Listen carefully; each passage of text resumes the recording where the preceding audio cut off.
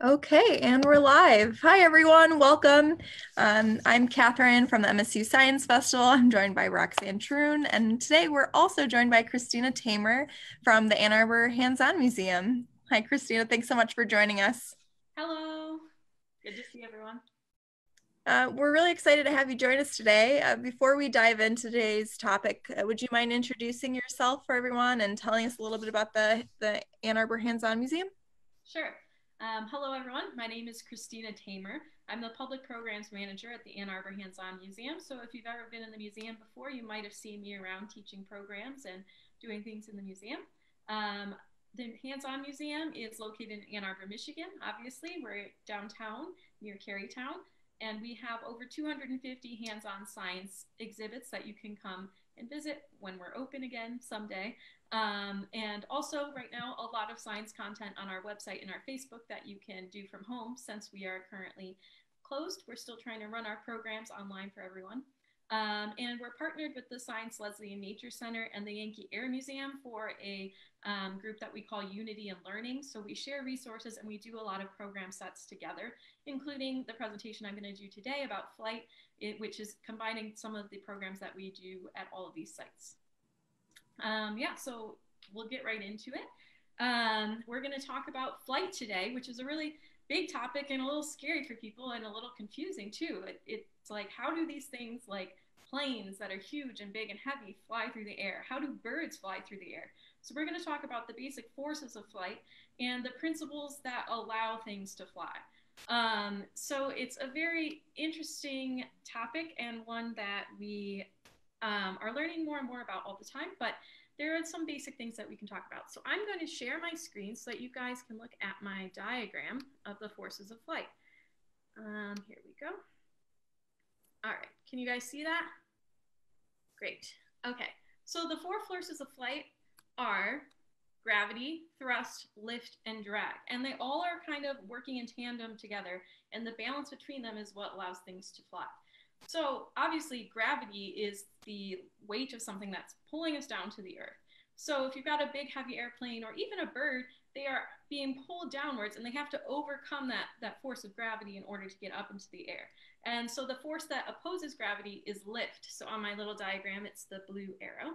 Um, and so we need enough lift to overcome the force of gravity. So a really simple way to, to demonstrate this to yourself um, is to actually take two pieces of paper if you have them at home, crumple one up, and leave one nice and flat. Um, we're going to do kind of a mini parachute, and you can play with this later more. But what we're going to do is we're going to drop both pieces of paper at the same time and see which one hits the floor first. Um, so I want you to, before you do this, make a guess. Which one you think is going to hit first?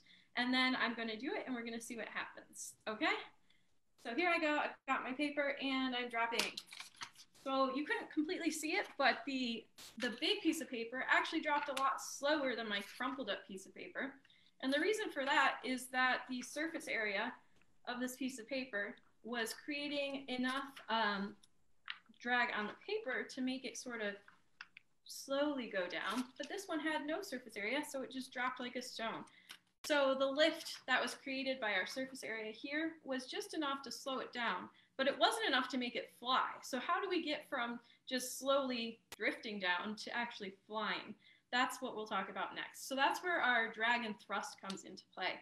Um, so drag is, like I said, the surface area of something that kind of creates this air resistance and slows it down. Um, and then the thrust is what has to overcome the drag and can send it flying forwards. So on an airplane, thrust is provided by the engines. And with our birds, thrust is provided when they're flapping their wings. So the thrust has to overcome the drag enough to let us get enough lift to get in the air.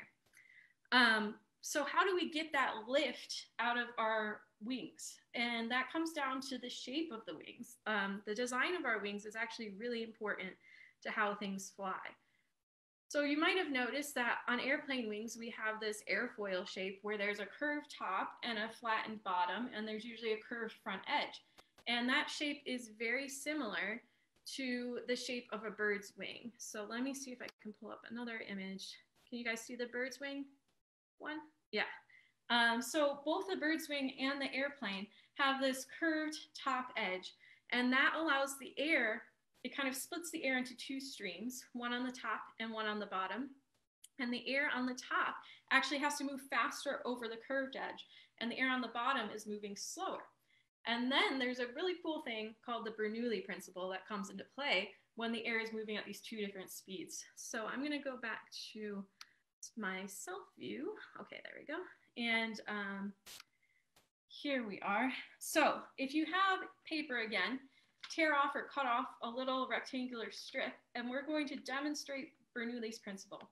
Um, Bernoulli's principle, he was a scientist, and he um, observed that air had some interesting properties. It behaved kind of like a fluid. And one of the things he noticed is that faster moving fluids have a lower pressure, and slower moving fluids have a higher pressure. And it's the same with air. So when we have faster moving air, it actually creates a low pressure zone. And when we have that slow moving air, it creates higher pressure. So that's how you actually get the lift that you need because you have the fast air over the top of the airfoil that's creating this low pressure, and then the relatively high air on the bottom lifts up the wing. And we can do that with our strip of paper. So I want you to take your strip of paper and kind of first blow on the bottom of it. So when I'm blowing on the bottom of it, we can kind of get it to lift up. So what would you expect to happen if we blow over the top of the paper? Do you think it would push it down? So we're gonna try it, make your guess, and then I'm gonna blow over the top of my paper.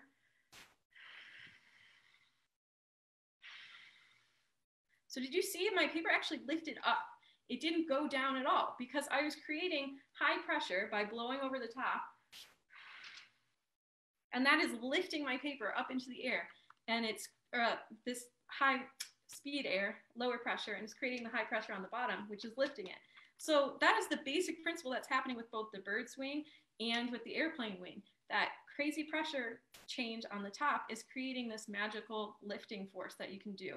So if you have it, your serve of paper, you can demonstrate it. Also, if you have a ping pong ball and a straw or a hair uh, dryer, you can also do something similar and cool. So I'm going to show you a really short video um, that we can see about that principle in action. So here in my video, hopefully it'll pull up, there we go. We see this ping pong ball levitating and you're like, why is this ping pong ball able to fly through the air? And it turns out that it's Bernoulli's principle at work again. Um, we have the air from the hair dryer is pushing up and creating this low pressure zone around the ping pong ball. And it's enough to actually create lift for this very light ping pong ball and lift it into the air and make it fly. So if you have that at home, feel free to play with that later after we are done with our little demos here. Um, and so the final thing that we wanted to look at was some of the bird's wings. So how exactly do the different wing shapes come into effect? So as you've seen, some birds if you've looked out your window, you see some birds that have very long, skinny wings, some birds that have very short, round wings, and some birds that have, um, you know, all sorts of crazy shapes and colors. And the shape of the wing does affect the way that things fly. So I'm going to share my screen again and show my wing shape diagram. So when you have these really long, skinny wings, um, they're really great for soaring. They create a lot of lift because of the big length of the wing, and but they are so long that they're kind of hard to maneuver. You can't flap a lot. You can't be really fast and turning a lot. So you need these really long skinny wings for certain birds that we see that can kind of soar around. Um, then we also have the long but still a little bit wider soaring wings like we see on hawks and a lot of birds of prey. And that allows them to take advantage of thermal air coming up from the ground to give them extra lift and then also continue to soar. And then we also have these small elliptical wings that we see on more smaller birds like robins or sparrows, where they have small rounded wings, and that allows them to take really quick actions, turn quickly and maneuver, and be really fast. Um, but it requires a lot more flapping, so they can't just glide as much because their wing isn't big enough. Um, and then we see things like on hummingbirds that are very small um, narrow wings that they can use to hover in the air, but they have to use pretty much always flapping. They can't just, if they stop flapping, they're gonna fall. So what is the flapping doing for them? That's um, an interesting thing too. So the flap is actually creating the thrust that is allowing them to overcome the drag of the air resistance, and that's allowing them to soar. So I have one more video about how exactly that works for birds when they are flying. Let me share that to you as well. Ah, here it is. And share the screen. If anyone has any questions so far, let us know, and I will happily answer some of them. Okay, here we go. So in this video, it's going to show a little bit about how birds' wings work. So when we're taking off here, you can see that the bird has to unfold the wings and jump forward, and that's the initial thrust that's really bringing the air over the top of the wings and allowing the Bernoulli effect to come into play. The thrust is overcoming the drag created by the size of the bird, and then the shape of the wings is creating that air pressure increase underneath the bird that's lifting him up. And so he has to really flap hard in that initial flap to get a good thrust to bring him forward. Then when he moves on into his flying, that lift and thrust has to continue as he is soaring. Um, so if he starts flapping, um, he has to keep keep all the thrust forward, otherwise he might start to dive down again. Um, so this video will show us a little bit about how the air moves over the wings and creates those forces to overcome the weight of the bird that's trying to bring him to the ground and the drag created by his body. Um, so the flapping wings, again, continuing the thrust and keeping the air moving. Um, and when they're gliding, as we said, if they can keep their wings in a nice big glide shape, they can keep that um, air moving over it and continue to go forward without flapping. So birds with their feathers um, are helping maximize the air movement to keep them flying with as, as little um, force forward as possible. So it's, it's very interesting. There's a lot you can learn about it. You can get really in depth about the different types of bird, but um, I'm just giving you a brief overview about it right now. Um, but it's the same with airplanes. As I said, our airplanes often have different wing shapes that are meant to do different things depending on what you want the airplane to do. So if you guys have ever flown in a regular um, airplane for passengers, we see those long, thin wings that are coming off the airplane. And that is to allow them to basically glide as much as possible. And the engines are what provides the thrust for the airplane to get off the ground. There are other kinds of airplanes, like if you need an airplane for combat that needs to be able to turn and move quickly, they have a different shaped wing. It's more broad, round, or triangular, and that's giving them a different amount of surface area to work with, just like we saw with the birds, and it changes the way that their flight works. So here's a few examples of, we have some different bird wing shapes and some different airplane wing shapes, and we can see that sometimes they're sort of reflecting each other. Um, so that's always really interesting to me, how nature kind of informs the design process for engineers. Um, so as we are uh, ending this little chat, I want you at home to think about maybe making a paper airplane after this is over and experimenting and seeing do the shape of your airplane's wings change how it's flying? Can you make an airplane that goes farther or does special tricks or loops or that turns or does other things based on what you've done with the wings and what we talked about today. With a paper airplane, your thrust is provided by your hand as you're throwing, and then the wings are going to provide your lift. So you need to make sure that you're really throwing it to get a good, good thrust going. Um, how much time do I have left?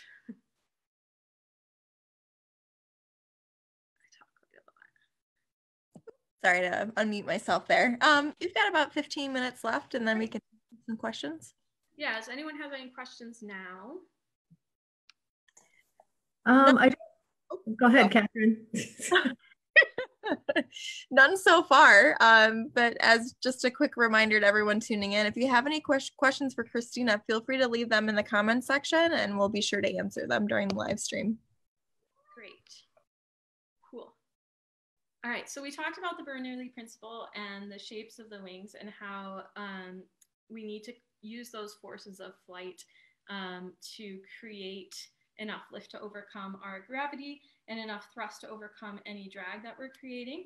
Um, so I want to pull up my different airplane designs and we can talk about how um, the changes in the wing shapes might change some things. So you can do some fun things with your paper airplane. Um, by adding flaps and stuff. So if you've seen in a regular plane, there are usually flaps on the back of the plane, like around here. And that can change how the air is moving and create different, um, you know, tilts to your plane. So I would encourage you to experiment with some flaps, to experiment with different wing shapes. And I'm gonna pull up one of my different designs. Let's see. Ah, here we go. Okay, this one's a little small, but I think we can still share it.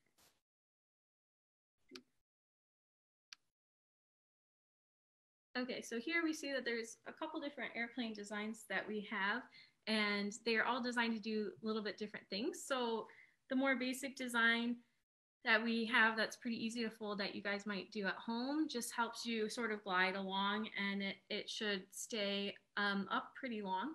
Um, if you do that dart shape, it'll go farther. Um, and if we do that wider wing shape with the bigger back, the stable one it says here, um, it'll increase the time aloft, but it also gives you some chances to maybe do some more acrobatic moves. Um, and that's like, as we said, as we saw with some smaller birds that have those bigger, rounder wings, they can change direction really quickly. Um, with that uh, sea glider at the bottom there, we see that really long, thin wing that stretches out and takes advantage of all the air below it to really let it keep going for a long distance without having to add extra thrust. Um, and with that hunting flight one, we have folded up the top, uh, the corners of the wings and created some extra flaps. And again, it's changing how the air is flowing and creating um, more, it's giving it more uh, thrust to go forward. Um, and then that final one, the royal wing, it has a bunch of flaps at the back. So I would be interested in seeing how that would make it twist and turn through the air as the air plays over it. Um, so yeah, these are all very fun. I would definitely encourage everyone to play with paper airplanes after this. That's basically what I did the other day. Um, and learn a little bit about how all these things can affect our, our flight. Um, I think that's covered most of the material I wanted to get through. Um, sorry, I was a little, I talk really fast. So, um, as I said, just to review the, the big forces of flight that we learned about today. We learned about the lift, uh, gravity or weight, thrust, and drag, and how those all affect our flying, and how basically the same principles of flight apply to both our airplanes and our birds and our paper airplanes if you choose to make them, um, and how we can adjust the shape of the wings to affect the flight patterns and to make it do different things um, and how we have to take all of these forces into account when we're designing things as engineers. Um, so the engineering process is a lot of building, testing, seeing what works, seeing what doesn't. So with your paper airplanes, you're going to have to try a bunch of different designs to find the one that works best. You could also try to add challenges like adding paper clips for weight, like their passengers, or you know, adding um, a different like goal that you need to meet, like you want it to go 10 feet or you want it to fly this high. Um, so you can build, test, design, and re- rebuild every time you learn something new. I encourage you guys to be really um, excited about it and try your Bernoulli demonstrations with your paper or with your ping pong ball if you have one, and have a lot of fun learning about the forces of flight. Um, it was great talking with you all, and we hope to see you at the museum someday. Or, as I said, visit our website and get some more info. I also have some links to share with some more facts about paper airplane design so that you guys can go home and play with it that we'll be sharing with you. Um, and also a link to a Bernoulli, more Bernoulli demonstrations that you can do at home to learn about that amazing Bernoulli principle that creates that lift for our wings. Um, I'll open up the floor to questions if anyone has them. Otherwise, it's been super great. And we did put those links up in the chat on our Facebook uh, live feature there. So for people viewing, you can find the links there. I had a question. I don't know if you know the answer to. There's an animal in North America called the flying squirrel. Oh yeah. Do you know anything about flying squirrels and how they fly? Yeah, um, I can't say I'm an expert on them, but having seen pictures of them, my guess would be that it's similar to the bird in that when they are leaping off the tree and spreading that front wing, they have that flap of skin that's connecting to the back wing. And the way that the front um, of the arm is shaped round, it's helping create that lift over the top of the wing. And then the wing kind of billows out to create that gliding. I also imagine that they can't go super far because they're too heavy. So they're probably more using it to glide from tree to tree. And then they have to, you know, grab onto another branch before they fall down to the ground. Awesome. Um, and then would, so helicopters don't have wings, but they fly. Is it a different principle being used for helicopters? Yeah, so helicopters are really cool too, and that can be a whole a whole fun discussion. Um, and the helicopter blades are also um, shaped in a specific way to create some of that um, Bernoulli effect. Um, it's just happening in a different, like smaller area. And um, I think I have a thing on here. Let me see if I can pull it up about helicopters. And you can create one at home and try it yourself. Um, but basically, let's see what it says here.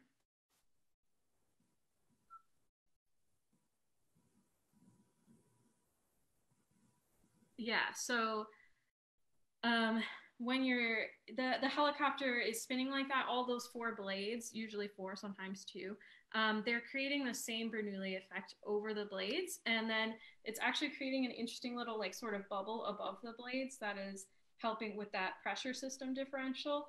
Um, and they definitely are a lot touchier than airplanes. So I, I know from our friends at the Yankee Air Museum who have a couple helicopters um, that there's sort of a lot of different principles in the design of them because the steering can be really delicate with those because you can stall a lot easier than with an airplane wing because with the airplane wing you have that long stable wing and mm-hmm. it's sort of creating a very stable flight but the helicopter wing we don't have that but it does give them the ability to as you said just lift straight up and like maneuver really well. So it's a different type of flight, but um, you can make some helicopters at home and play with them. There's mm-hmm. also seeds I know that have the helicopter shape and do the same sort of thing as they're dropping. So that can be fun to observe if you have some in your yard. Awesome. Awesome. Catherine, do you have any questions? Yeah. Um, Cristina, you, you mentioned that you tried this out yesterday. Um, and I'm curious if you have any um, tips on what type of paper works best. Did you experiment with that at all? Is printer paper okay or cardstock? Is there a difference when you try different papers? Yeah, so I've been using printer paper mostly, but I have done this with construction paper in the past, and it changes the flight a little bit, I, I think.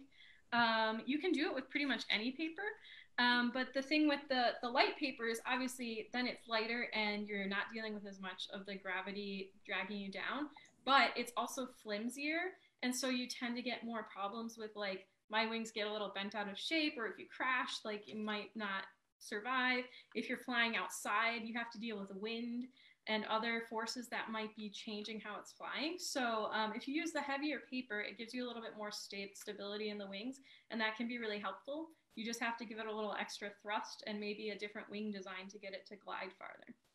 Mm-hmm. Um, it looks like we did have one question come in from Rob.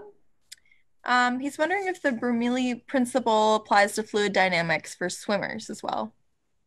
Yeah, so as I said, um, Bernoulli actually observed at first in liquid in water. Actually, like I believe he saw it in a dam and he started figuring out these things. Um, and uh, so it probably does apply to swimmers, I would imagine. I don't know a whole lot about it, and I would encourage you to research it further um, but it definitely applies to anything moving through a fluid. So um, the shape of like boats or submarines, I know they have to take it into account. They have to take it into account when they're making like pipes through houses, and or if you've got like bends or turns or any any shapes in the pipe, it can change how the water is flowing. So you have to um, think about it for a lot of design things. And the other thing is it's really fascinating to look at airplane um, when they do those wind tunnel demonstrations, and you can see the air moving over the wings and then when they change the shape of the wings or they add the flaps you can actually see little like eddies or ripples behind the plane and that's kind of interesting because you don't think of air as acting like a fluid but it does and you have to use those fluid uh, dynamic equations to model it so it gets really complicated really fast but it's pretty cool great Um, can you tell us a little bit more about the Yankee Air Museum? I've never been myself, so I'm, I'm pretty pretty curious. What sort of um, things can visitors expect once everything opens back up? Yeah, so the Yankee Air Museum has a big collection of historical planes, a lot of them from like World War II. Um, they have a lot of fighter planes and planes that they've kind of rescued and rehabilitated that would have probably been scrapped. Um, so it's a really cool place to go to learn about the history of aviation and how airplanes have evolved and changed over time. Um, they also have a lot of cool info about like the Great Lakes specifically and how um, Michigan has sort of led the way for manufacturing airplanes in, in during World War II, and then um, how we found airplanes in the Great Lakes because they used to use the Great Lake area as a training ground for pilots, and so there are a lot of plane crashes that they've recovered and learned a lot about these planes there, which is cool to see. They have a new exhibit about that. And I think they have a lot of their uh, planes on their website if you're interested in looking at their pictures. And they have some video tours where they take you in the cockpit and you can see all the levers and the crazy stuff inside. Um, they also do like flights. So if you really want to get into like a a B 2 bomber or a helicopter, they'll take you on a flight with a couple of their working planes, which is really fun. Wow. that sounds That sounds awesome. yeah, it's pretty, it's pretty exciting. Um, yeah, and they're one of our partners, so we we've been doing programs, educational programs together with them. They have the big Thunder over Michigan, which is unfortunately canceled this year, but you might have seen the Blue Angels go by um, earlier this month. They flew over Detroit, um, I think last week, um, and so they usually have the Blue Angels visit every year at the Air Museum, which is really cool. So have you gone on one of those flights that you mentioned earlier? Have you? I have not, but one of my coworkers did, and I think there might be video on our website or on our YouTube channel about it. Um, and yeah, she said it was pretty exciting to do. Pretty cool. Very cool. Very cool. And then Leslie Nature Center is also a part of your, is a partner of yours also? Yes, yeah. So our organizations merged a couple years ago, and they have a nice outdoor site. Um, so they have a lot of hiking trails, but they also have a bunch of animals that they use for educational activities. So if you have a school or a scout program, a scout troop, or a birthday party, they can have their animal educators come visit you, and you can learn about um, the different animals. Um, so they have a big collection of birds. They have a lot of snakes and reptiles. Um, they have some insects and bugs, which are pretty interesting. I don't personally like them, but some people find them fascinating. And um, they're willing to do all sorts of programs with them. And you can also stop by the site and, and visit the animals anytime. It's open during the day. Um, and yeah, they they have a lot of cool stuff. So, like I said, um, all their animals are like rescued animals usually. So they try not to like take animals from the wild. They're usually animals that can't be released for some reason or another. Um, so there's like an owl who has some crossed eyes who can't really survive on his own and stuff like that. Uh, but they're all it's it's pretty cool what they do. Um, and I think they also have some cool resources on their channel right now. Um, they've been taking some guided nature hikes if you want to learn about the wildlife that we find in Michigan and what you could observe on your own as you're hiking around in your free time during this quarantine time. nice. Yeah, now that the weather's finally cooperating, it'd be nice to get outside again and do some hiking. Yes. Yeah. yeah, and I think they put up a like scavenger hunt for their Mother's Day hike that you could probably find, and it included some of the birds that you would commonly see around you and some of the plants that you might see. So that's that's really fun. Nice, nice, awesome. Well, I don't have anything else. Um, I would just say uh, thank you for being with us today. We really appreciate the partnership uh, with Ann Arbor Hands-On Museum. And once uh, we're allowed to go back in, we want to make sure our, our, viewers stop by and see you in Ann Arbor. And then just going forward, um, every Wednesday we'll have a afternoon science snack. Um, next week, Catherine, do you remember what we have up next week? I just lost my train of thought on that. Not to the top of my head, but we do have the next couple weeks planned out. If you go to the events section of the Science Festival website, you'll be able to see what we have um, coming up next. And then we have another one today at 4:30 uh, about the butterflies in the butterfly house at the MSU 4-H Children's Garden. Ooh, that sounds really cool. Should be fun. So thank you again, Cristina. It's been great. Yeah, thanks for having me. I'm glad we got to come on and, and talk about it since we weren't able to host our s- MSU SciFest festival at the Air Museum this year. Great. Yeah. All right. Thanks again, everyone, for tuning in.